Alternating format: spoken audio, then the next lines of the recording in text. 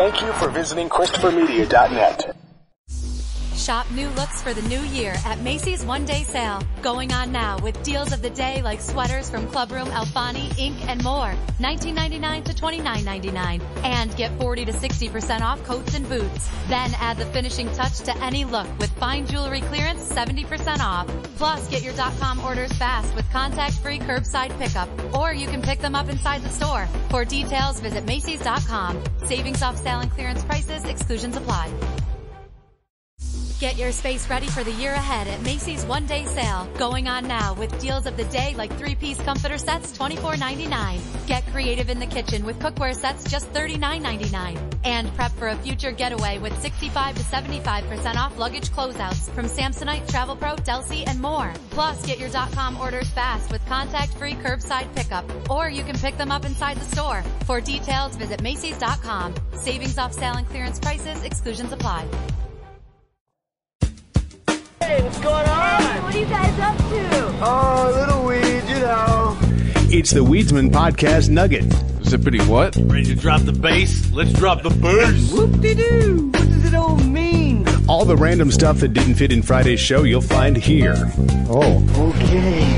Hey man, you got a joint? Got a little bit of reef rice along on your boy? What that mean? Please, give me, just give me my weed, all right? I am prepped today. I know. We had to. We both dropped the prep ball last show. Well, no, I mean, I was like, I was prepped for material wise. You prep medication wise. Yes, I have all of my drugs today. I had plenty of marijuana in my system last episode. We had to cut it short a little bit because well, I, w- I didn't have any of my other drugs really. Well, I had nicotine, right? But I have a lot of drugs that I that I rely on. I didn't have my coffee. I didn't have my sugar, which I'm counting as a drug. It's true. It is. And I didn't have my Claritin, and I didn't have my, I think it's called Seraflow or something like that. Is whatever my, uh, I believe it's called Vagisil. my, Saying it wrong. my steroid inhaler. The end result is that I was left run down and then just Super confused. high. well, like my brain wasn't connected. I was having thoughts and I would either not know how to vocalize them or I just would forget or I would just like it was like I had, it was like I was a novice smoker. Like words, I have the best words. Right. I was like a totally stable genius. Very stable genius. the show is totally legal and totally cool. Mm, that that needs to be the name of our first episode when we actually have legal recreational in the state. Totally legal, totally cool. Totally legal and totally. Those are the the best Trump quotes. Nothing's ever. I don't care what else he says for the rest of his presidency. Nothing's stopping. Totally stable genius. Totally legal and totally cool. when did he say totally legal and totally cool? I'd have to look it up. I do not remember, but he said that like he was asked about, or maybe it's very cool. Oh, it was very legal and very cool. That's what it was. Or no, maybe it was a tweet. I've Bearing the lead here because the story is from AOL.com. yeah, that's I found the same one. That was the first one that popped up. AOL is still around? He says, uh, against all odds, I decided to run for president and continue to run my business. Very legal and very cool. well, during the campaign, yes. Oh, technically, isn't he divested now from all of his? Isn't DJ TJ running the show now? Yeah, which uh, apparently part of Michael Cohen's testimony was that he quoted Trump as saying, I think he he's called Donald Trump Jr. like unreliable, or that he doesn't have. Oh, he's oh he has very poor judgment. I think it was. Oh, did you see this story today? That the BuzzFeed writer who wrote that debacle a few weeks ago said that the, uh, Cohen's testimony said, "Hey, yeah, but he's kind of right." Wait, which story? The BuzzFeed story that came out a few weeks ago, where Oh, people ended up having to retract. They were like, "Hey, we're not really." And the writer Right. said it. Hey, he, what he said, it, it made me kind of right. I was like, it, yeah, it was. It was clear. I was reading the story like, it's Monday morning and we need to fill time, people, huh? That's ridiculous because the the Says it makes the thesis of his story correct. no, it doesn't. It does not absolutely because you didn't know. That's the point. It doesn't Yeah. matter whether it turns out to be true or not. You were reporting on conjecture. You were looking at certain facts and extrapolating and reporting that as fact. That's the problem, not whether you turn out to be right or wrong. That's why there's no hope for these fucking idiots. Well, they don't even know what game they're playing anymore. It's it's well it's like, it's like just because you you picked the lotto numbers doesn't mean you are now Right. good at prognosticating lotto numbers. You you guessed. Right. You you, you may have ended up being right. That that's there's so much. That's why I try and stay away from like this Jussie Smollett thing. We, I know we talked about this on, reg, on unregimented, but there's there's nothing to be gained, and there's so much of this out there of people going, "I'm calling it that you know this guy's guilty or this guy's innocent or this didn't happen," and then it turns out not to, and I'm like, "Oh, you're, so we're supposed to think that you're a fucking genius now?" Yeah. because you picked one out of two possible answers and said I called it and then retweeted it when it turned out to be true? You know, like a hate crime prognosticator. Or do we or do we have to go through your whole Twitter feed and find the ones that you called that didn't turn out to be true and weigh it against that? That's what's more important. How how often are you mm. true? Can you Yeah. make a call and be right? A 50-50 call. It's the old trope, broken clocks calling right it. twice a day. Trump's going to jail. I ca- I'm calling it right now. Like, oh, so you, you're gonna you're a genius now if Trump actually goes to jail? You knew all But along. for what? Would be my question. Yeah.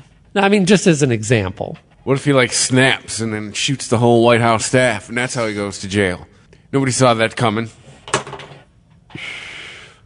I wonder which drug I'm most addicted to. Well, I mean, most addicted would be asthma and allergy medication. In the respects that I'm not going to have, I, I will have physical withdrawals, as in runny nose, hives, can't fucking breathe. you know, those are those are could be considered withdrawal symptoms. But other than that, I bet coffee. I th- I think it might be coffee. Like if I didn't have weed, right? I can make it through a day and then the night going to sleep is going to be kind of rough. But I can do it if I need Probably to. coffee and nicotine. Nicotine I would get irritated. That would last probably about a week. You know, I would get really irritated about dumb shit, but I'd move on. Coffee, I think my productivity would just in all aspects would just go down the drain. That's the one that would really hobble me if I didn't have access to it. See, I'll drink it during the week, but not so much on the weekends. Yeah, I'm I constant. I'm home during the weekend, so I'm making like three pots a day. Not pot. I make like it's like a quarter of a pot or something. I'm My 71 year old making enough for like two mugs. always at drinking a, a, cup of coffee. So on a day off, eight mugs, eight cups of coffee is probably what I'll drink. Like every time I go over to my mom's house, hey, you want a cup of coffee? Sure, why not? like not? even even late at night. I see you later. oh yeah, having a cup of coffee after dinner. Oh, that's the best. You have to have the coffee after the dinner. I, I like to sleep. Like that's the thing for me. Oh, like yeah, I'll- I am really, really sensitive to caffeine and stimulants. Yeah, I used to be, and then I started drinking coffee regularly. But so did I. But I still am. Like I can't go to Starbucks. I cannot. And if I do go to Starbucks, I'm getting something that I am nursing all day long. Because if I drink it right away, I'll be all jittery and weird. I, I, I like never drink. I don't think I've. I'm not sure I've ever had just a. Uh, probably when they first started popping up everywhere. I probably actually had some Starbucks coffee. Starbucks is number. I, I saw an infographic. They are number two for most coffee, for most caffeine in their coffee. Number one is the coffee bean and tea leaf. Is that a is that like a store or a brand? Yeah, it's just another. It's that something fancy you ass. buy- It's fancy ass chain. So you oh okay. So they have their own stores, their own. Yeah, Is it a restaurant you would or see is in it a just mall. a brand of coffee? the closest one I can tell you to us is at the airport. I have 7-Eleven coffee, which Oh, that was like number. Uh, it, it was higher on the list than you'd think. oh was it? I mean, that's a pretty big variable. Starbucks and, and big chains like that that rely on coffee, they have to have consistency, like a Big Mac. It is expected that when you walk into a Starbucks anywhere in the world, well, at least the U.S., let's say, a, a coffee is going to taste like coffee. But that, I don't know. I, Coffee flavor coffee. 7 Eleven is like decent enough, not too pricey, although it really tastes like beans. I know it's kind of a dumb thing to say when you're drinking a drink made of ground up beans. Not even ground up beans, the runoff from ground up beans. This is true. I don't know. It has a dirty flavor to it. Well, if you're drinking shit coffee, yeah. What kind of dirt coffee you drinking? I very rarely or do you drink say it generally tastes like dirt? 7 Eleven coffee generally tastes like dirt, yes. I usually only drink Seattle's Best, number four, which has been, I mean, almost as long as we've been doing this show, Oh, yeah. you know?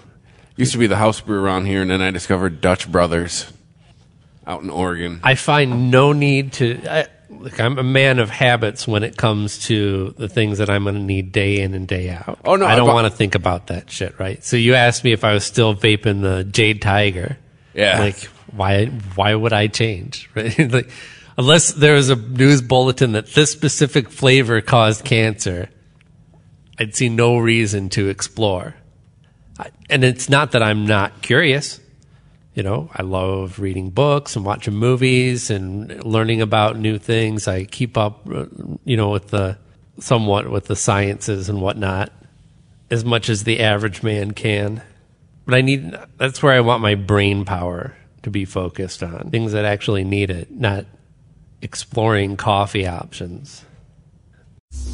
Shop new looks for the new year at Macy's One Day Sale. Going on now with deals of the day like sweaters from Clubroom, Alfani, Ink, and more. $19.99 to $29.99. And get 40 to 60% off coats and boots. Then add the finishing touch to any look with fine jewelry clearance 70% off. Plus, get your .com orders fast with contact-free curbside pickup. Or you can pick them up inside the store. For details, visit Macy's.com. Savings off sale and clearance prices, exclusions apply. Get your space ready for the year ahead at Macy's One Day Sale. Going on now with deals of the day like three-piece comforter sets, $24.99. Get creative in the kitchen with cookware sets, just $39.99. And prep for a future getaway with 65 to 75% off luggage closeouts from Samsonite, Travel Pro, Delsey, and more. Plus, get your .com orders fast with contact-free curbside pickup. Or you can pick them up inside the store. For details, visit Macy's.com. Savings off sale and clearance prices, exclusions apply. The Weedsmen Podcast. ChristopherMedia.net. ChristopherMedia.net. The Weedsmen Podcast.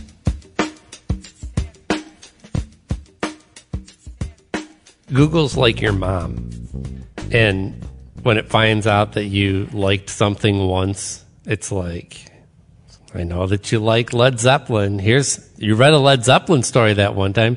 Here's every story this week about Led Zeppelin. Oh no, yeah, my Google for you is crazy because all the stuff I look up for podcasts. Yeah.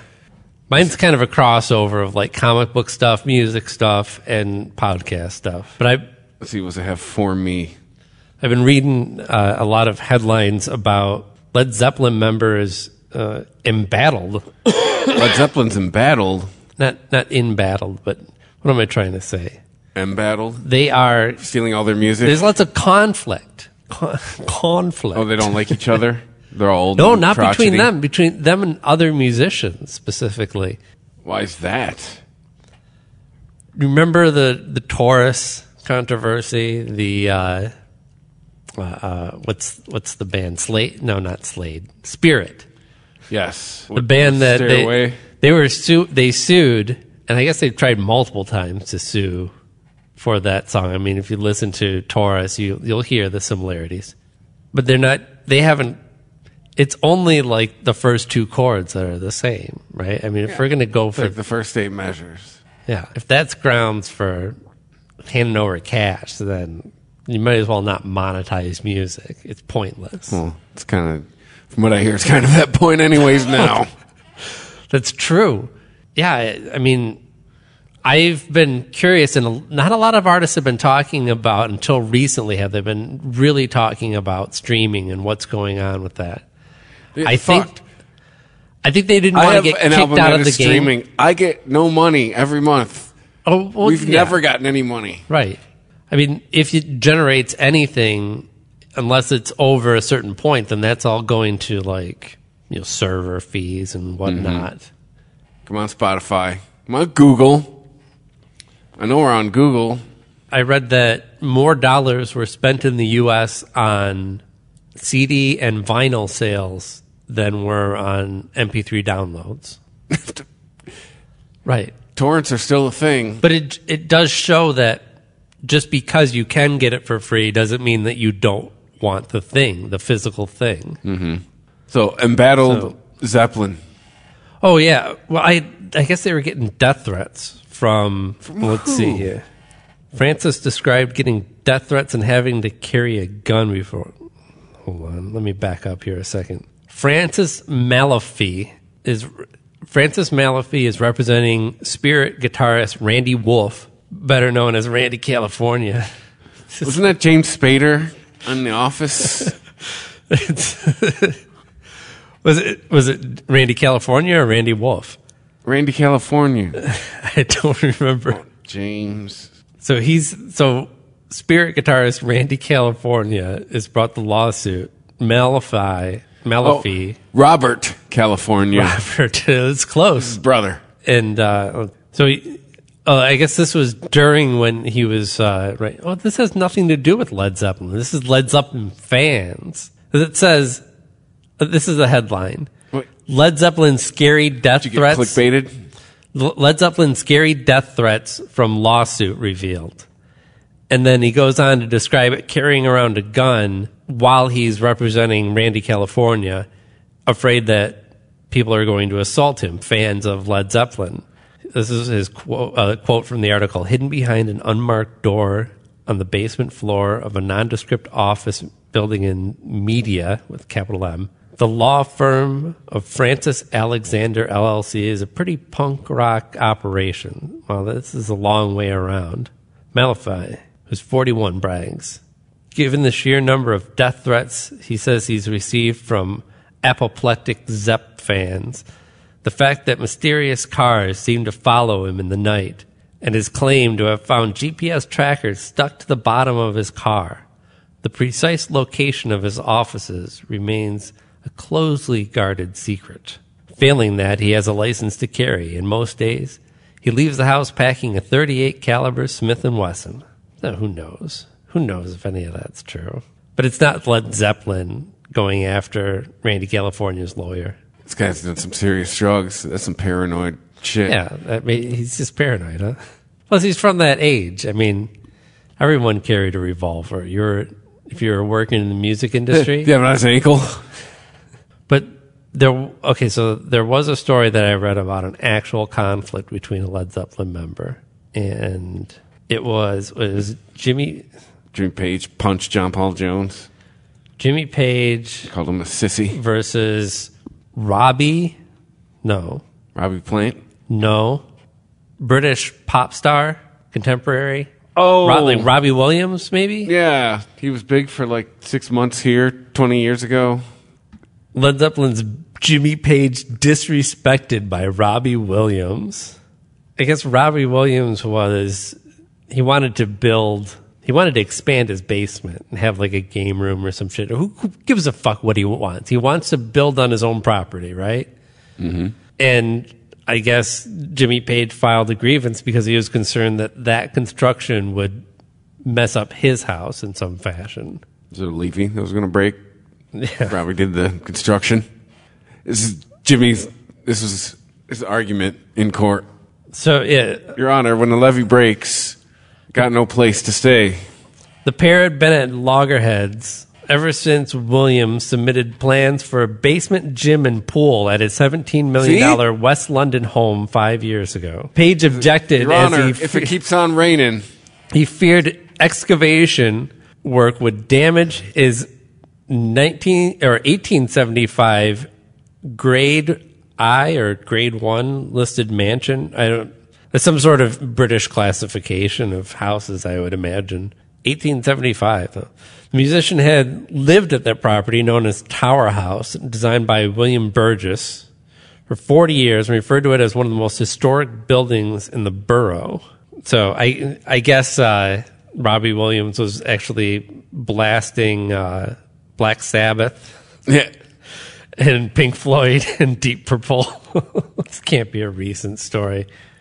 Americans need to stop reusing their condoms.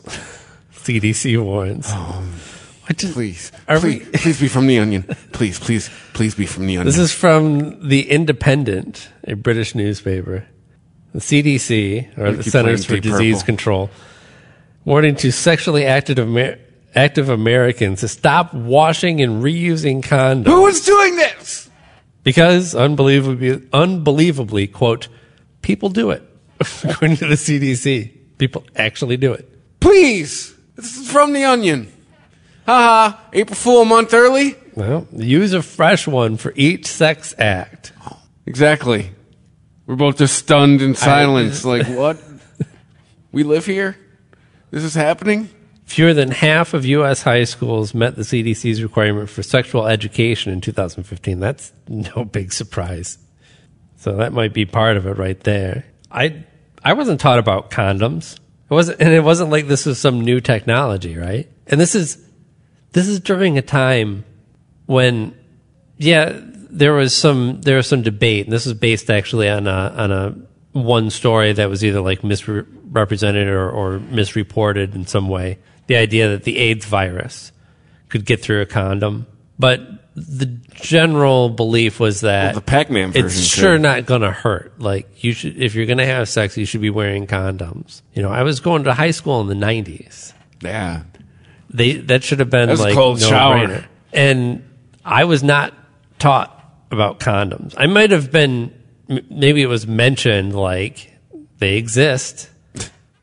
You know, this is a thing that you can use, but I was never shown one. Yeah, I was shown how to operate The first one 10 years of school for breaking it. me was just pretend your penis doesn't exist. That's one of the most important things that you 'Cause can I went to Catholic teach school. a kid in high school. Like, if you're going to teach them about sex education, they'll figure most of it out themselves. Trust me, just pinch the tip and roll down. Like, it's not that hard. Well, no, it should be a little bit hard. Yeah. hey. We'll be here all week, folks. You know, and and then where the clitoris is. That's really it, right? The Eh, rest, you know. the rest comes naturally. Try if a curious person can, you know, find this shit out on their own. Well, now, I mean, what is sex education like in the age of internet and your And the- phone? yeah, in the age of by by the age of eleven, you've seen ass to mouth. right. I mean, I, I would hope that it would be something like maybe breaking some common myths, like not every girl wants your cum in her hair.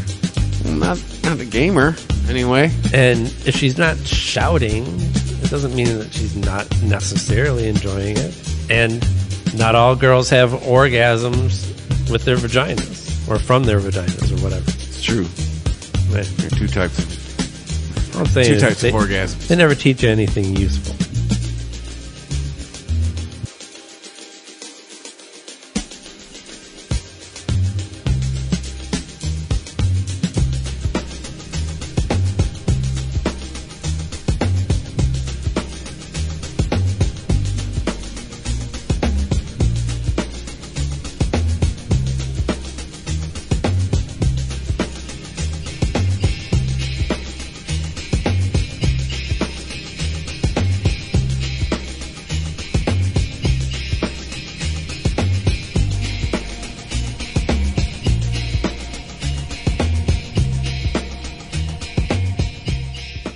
The Weedsmen Podcast. ChristopherMedia.net. Shop new looks for the new year at Macy's one day sale. Going on now with deals of the day like sweaters from Clubroom, Alfani, Inc., and more. $19.99 to $29.99. And get 40 to 60% off coats and boots. Then add the finishing touch to any look with fine jewelry clearance 70% off. Plus, get your .com orders fast with contact-free curbside pickup. Or you can pick them up inside the store. For details, visit Macy's.com. Savings off sale and clearance prices, exclusions apply. Imagine the greatest collection of real life entertainment on the planet, all in one place. Go ahead. Dare to stream with Discovery Plus. Stream now. Stream what you love. ChristopherMedia.net. If you like this show, please tell a friend. Please make sure to rate and comment on all your favorite Christopher Media shows. Please follow us on Twitter and like and share us on Facebook. You can subscribe to all ChristopherMedia.net shows for free on ChristopherMedia.net. Thank you for listening, and thank you for visiting ChristopherMedia.net. Thank you for visiting ChristopherMedia.net.